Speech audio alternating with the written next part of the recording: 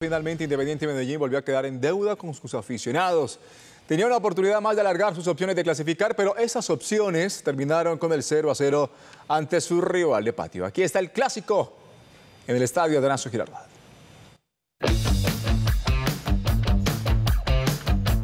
La clásica rivalidad llegó con aniversario incluido, los 108 años del Medellín, un sentimiento definido. Somos unos berracos para pa sufrir.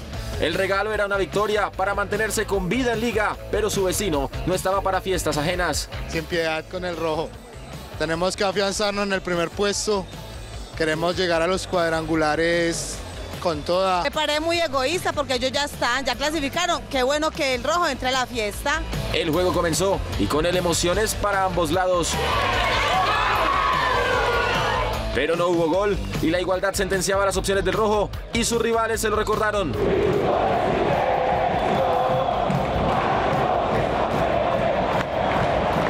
La furia poderosa no se hizo esperar. Entonces, ¿qué pasa? El Medellín no está jugando. Puros empates, puros empates, puros empates. El bolillo acabó también con el Medellín, puros empates. Hemos tenido dos cuerpos técnicos, de lo cual han pasado y lo que jugamos somos nosotros.